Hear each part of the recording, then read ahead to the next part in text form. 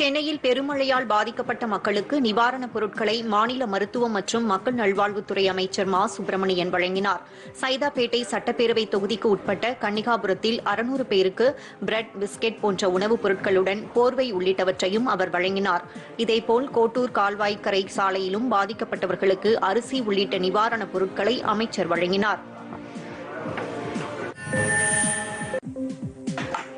விழுப்புரம் மாவட்டத்தில் விளைநிலங்களில் தண்ணீர் புகுந்து நெற்பயிர்கள் சேதமடைந்துள்ளதால் விவசாயிகள் வேதனை அடைந்துள்ளனர் தென்பெண்ணை ஆற்றில் ஏற்பட்டுள்ள வெள்ளப்பெருக்கு காரணமாக கரையோர கிராமங்களில் உள்ள வயல்களில் நீர் தேங்கியுள்ளது குறிப்பாக பிடாகம் அந்தியூர் திருவாசி உள்ளிட்ட பகுதிகளில் சுமார் இருநூறு ஏக்கரில் நெற்பயிர்கள் நீரில் மூழ்கியுள்ளன. விழுப்புரம் பேருந்து நிலையத்தில் தேங்கியுள்ள தண்ணீரை வெளியேற்றும் பணியில் மாவட்ட நிர்வாகம் ஈடுபட்டுள்ளது. இதேபோல் மாவட்டம் முழுவதும் பெய்த கனமழையால் பல்வேறு பகுதிகளில் தண்ணீர் தேங்கியுள்ளது. இதனால் பொதுமக்களின் இயல்பு வாழ்க்கை வெகுவாக பாதிக்கப்பட்டுள்ளது. காவிரி நீர்பிடிப்பு பகுதிகளில் தொடர் மழை காரணமாக காவிரி ஆற்றில் வினாடிக்கு ஐம்பத்தெட்டாயிரம் கன அடியாக தண்ணீர் வரத்து அதிகரித்துள்ளதால் ஒகேனக்கல் அருவிகளை மூழ்கடித்தபடி வெள்ளம் கரை புரண்டு ஓடுகிறது. நேற்று முழுவதும் கிருஷ்ணகிரி ஒசூர் தேன்கனிக்கோட்டை பஞ்சப்பள்ளி மற்றும் வனப்பகுதிகளில் கனமழை பெய்ததால் இன்று காவிரி ஆற்றில் வெள்ளப்பெருக்கு அதிகரித்துள்ளது. இதனால் ஒகேனக்கல் பிரதான அருவிக்கு செல்லும் நடைபாதை ஐந்தருவி மெயின் அருவி சினி அருவி உள்ளிட்ட அருவிகள் வெளியே தெரியாத அளவுக்கு தண்ணீர் பெருக்கெடுத்து ஓடுகிறது. கடந்த பத்து நாட்களாக சுற்றுலா பயணிகளுக்கு மாவட்ட நிர்வாகம் தடை விதித்துள்ளது. தமிழக எல்லையான பிலிகுண்டுவிற்கு வரும் நீரின் அளவை மத்திய நீர்வள ஆணைய அதிகாரிகள் தொடர்ந்து கவனித்து வருகின்றனர். வாக்காளர் பட்டியலில் திருத்தப் பணிகளை மேற்கொள்ள தமிழ்நாட்டில் நாளையும் நாளை மறுநாளும் இரண்டு நாட்கள் சிறப்பு முகாம் நடத்தப்படுகிறது. வாக்காளர்கள் தங்கள் பெயர்களை சேர்ப்பதற்கும் வாக்காளர் பட்டியலில் திருத்தம் செய்வதற்கும் மாநில தேர்தல் ஆணையம் நடவடிக்கை எடுத்துள்ளது.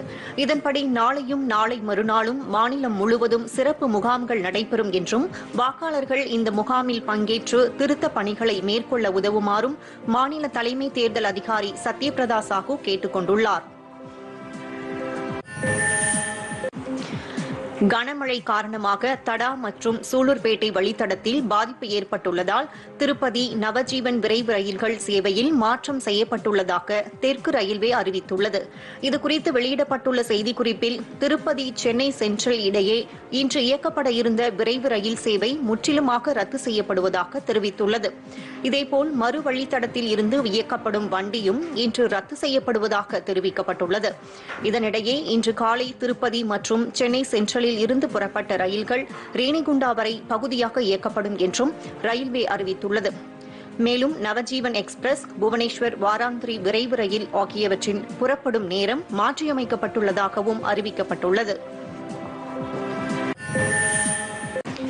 சுமார் ஐநூற்று எண்பது ஆண்டுகளுக்கு பின்பு மீண்டும் சந்திர கிரகணம் இன்று நிகழ உள்ளது சந்திரனை பூமி முழுமையாக மறைத்தால் அது முழு சந்திர கிரகணம் என்றும் ஒரு குறிப்பிட்ட பகுதியை மட்டும் மறைத்தால் அது பகுதி கிரகணம் என்றும் அழைக்கப்படுகிறது. அந்த வகையில் இந்த நூற்றாண்டின் நீண்ட சந்திர கிரகணம் இந்திய நேரப்படி பகல் பதினொன்று முப்பத்தி இரண்டு மணி முதல் மாலை ஐந்து முப்பத்தி நான்கு மணி வரை அதாவது ஆறு மணி இரண்டு நிமிடங்கள் இந்த சந்திர கிரகணம் நீடிக்கும். இதனை இந்தியாவில் அருணாச்சல பிரதேசம் அசாம் உள்ளிட்ட வடகிழக்கு பகுதியில் மட்டுமே காண முடியும்.